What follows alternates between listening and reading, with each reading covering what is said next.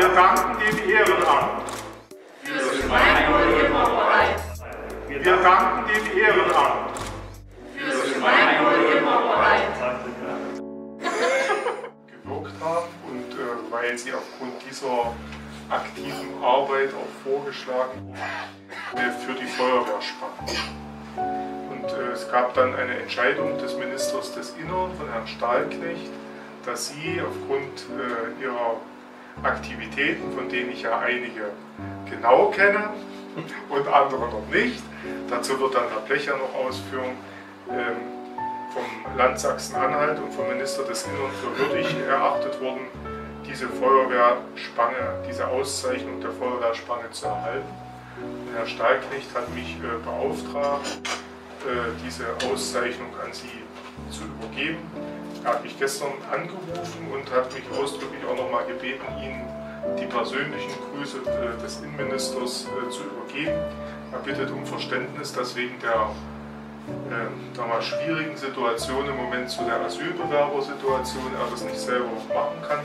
Er ist ja gerade in schwierigen Verhandlungen auch mit dem Finanzminister und äh, ich hoffe, Sie sehen es mir nach, dass der kleine Landrat das dann jetzt äh, an seiner Stelle tut. Ich mache das natürlich sehr gerne äh, und verbinde natürlich damit auch den Dank der Landesregierung an Sie, den ich hiermit auch weiterreiche. Kameradin Schütze ist seit zwölf Jahren Mitglied der Feuerwehr Allerstedt. Durch ihr engagiertes Verhalten konnten 13 Kinderfeuerwehrmitglieder gewonnen werden. Sie leistet eine hervorragende Pressearbeit für die Feuerwehr.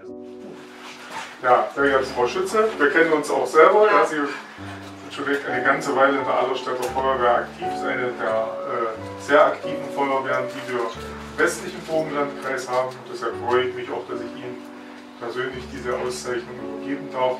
Ich äh, würde jetzt die Urkunde einmal verlesen ja, und äh, das gilt natürlich für alle in Würdigung beispielgebender Leistungen im Feuerwehrbereich. Überreiche ich Frau Sarah Schütze, Freiwillige Feuerwehr Allerstedt, die Feuerwehrspange und spreche Ihnen Dank und Anerkennung aus. Alles Gute. Ja, vielen Dank für die bessere Arbeit. Und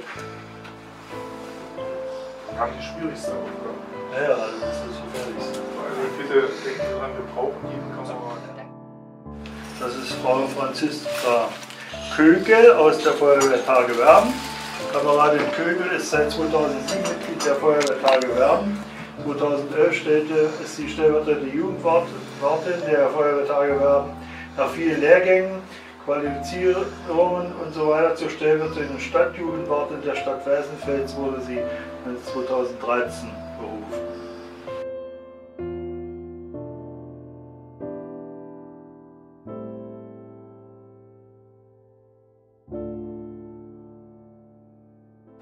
Mit Göndelmut weiß ich, dass er über dieses, was vorgelesen wurde, hinaus eben äh, derjenige ist, der es geschafft hat, äh, mehrere Ortswehren, die jede für sich nicht mehr einsatzfähig waren, so an einem Standort in Spielberg zusammenzuführen, dass da jetzt wieder eine leistungsfähige Wehr äh, entstanden ist, ohne dass es wirklich Knatsch zwischen den Altstandorten äh, gegeben hat ohne dass jetzt äh, alle äh, Kameraden aus den Altstandorten in den Bettel hingeworfen haben. Und das ist auch eines der großen Verdienste und äh, das kann nur einer, der gut kommunizieren kann. Und dafür sage ich auch nochmal ganz besonders Dank für Knut. Ja. Vielen Dank. Gerne. Bitte bleib bei der Stange. Auf jeden Fall. Dankeschön. Kamerad Fiedler ist seit 15 Jahren Mitglied der Feuerwehr Lossa.